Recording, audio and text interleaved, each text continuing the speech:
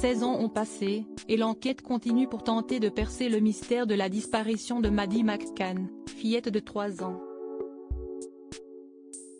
Mais ce 8 juillet, ses parents Kate et Jerry McCann ont dû faire face à une bien triste nouvelle.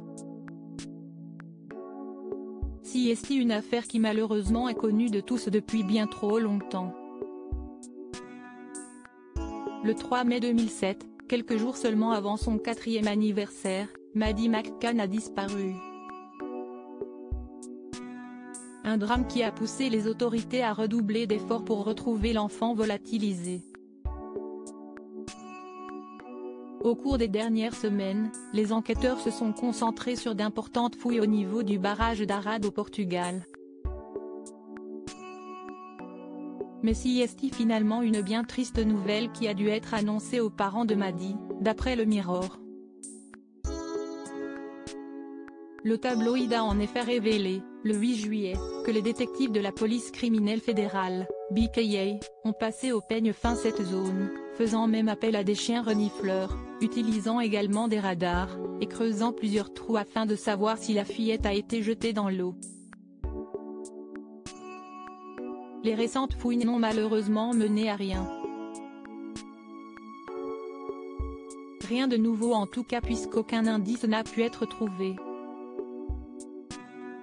Une terrible nouvelle, un coup dur de plus pour la famille de Maddie McCann, dans la TNT depuis plus de 15 ans.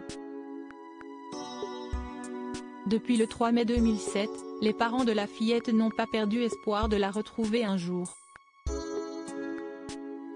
De son côté, le procureur allemand Hans Christian Wolters semblait peu attendre de ses fouilles, comme déjà prêt à ce qu'elles soient infructueuses.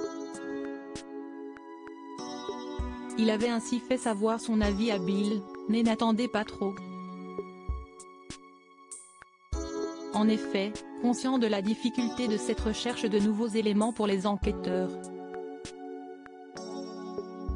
un lieu stratégique où le principal suspect s'était rendu le barrage d'Arad est devenu un lieu clé pour la recherche d'indices sur la disparition de Maddie McCann. Ce barrage se situe au sud du Portugal, à environ 50 km du lieu où a été aperçu pour la dernière fois l'enfant.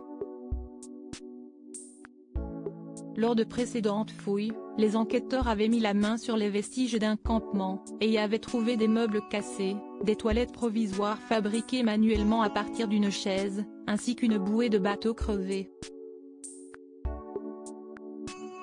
Le principal suspect dans cette affaire, Christian Brueckner, vivait à quelques kilomètres de l'hôtel où séjournait la famille McCann au moment du drame. L'homme a d'ailleurs été arrêté et condamné en Allemagne pour plusieurs agressions sexuelles et viols sur mineurs qu'il a commis au Portugal entre 2000 et 2017.